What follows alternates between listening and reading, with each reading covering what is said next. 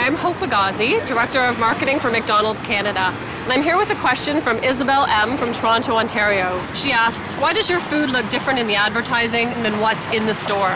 It's a great question, Isabel. We get asked that a lot. And if you want to come with me, I'm going to take you across the street. We're going to find out a bit more. Come on. Hello, could I please order a quarter pounder with cheese? Thank you, thank you so much. So here is my hot and fresh quarter pounder with cheese. Oh, that looks good. Look at this beauty. Put this one back in the box. I'm gonna go over to our photo studio and see a little bit more about behind the scenes what happens at a photo shoot. So we're en route now to Watt Photo Studios.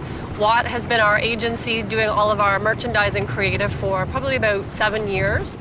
What we're going to do here is we're actually going to put the burger that you saw me just buy, we're going to put it side by side um, next to a burger that we're actually going to craft from scratch with our food stylist and our photographer.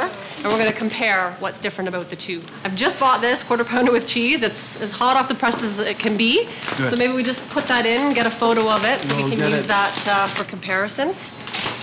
So we'll keep the camera, the lights, and everything the same. It'll be a direct comparison of the right side of both burgers. Perfect. Okay? That makes total sense. What I'm going to do is introduce you now to Noah, who's our food stylist. While that burger was made in about a minute or so, the process we go through on the average shoot takes several hours.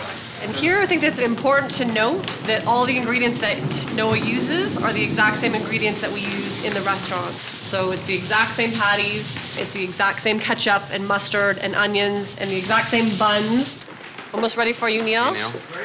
We want to be able to show the pickles and the condiments as we build. Right. In the store, they would naturally just line it up straight in, in Right. line. We have to bring it back a little bit to reveal the fact that there's it comes with the pickles and the slivered onions. Because we're in a one-dimensional world Mm-hmm. in the camera, everything's in the back in the picture. I don't know what's actually in it. Right. This way, we can at least tell people you have ketchup, you have mustard, you have two pieces of cheese, and you know what you're getting. perfect onion selection. It's like you're a surgeon in there. It's Because we've had to put things forward, the bun is sitting crooked. So he's just compensating. So hope I'm just melting down the cheese with my palette knife. Maybe I'll put mustard, ketchup. Actually, ketchup, mustard, ketchup. You ready? Yep. Oh, That's nice.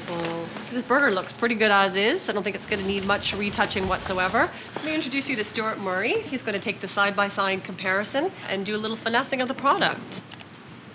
Less amount of retouching that we do to something, the less perfect it looks, but actually it looks more appetizing and more convincing.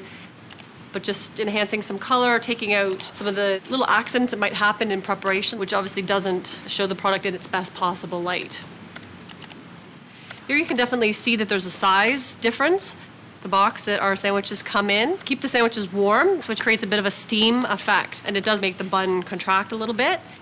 And then the main difference is the fact that we actually took all the ingredients that are normally hidden under the bun and we pulled them to the foreground so that you can see them. And those are the main differences. So, Isabel, thank you so much for your question. We hope that's answered it for you. Thanks.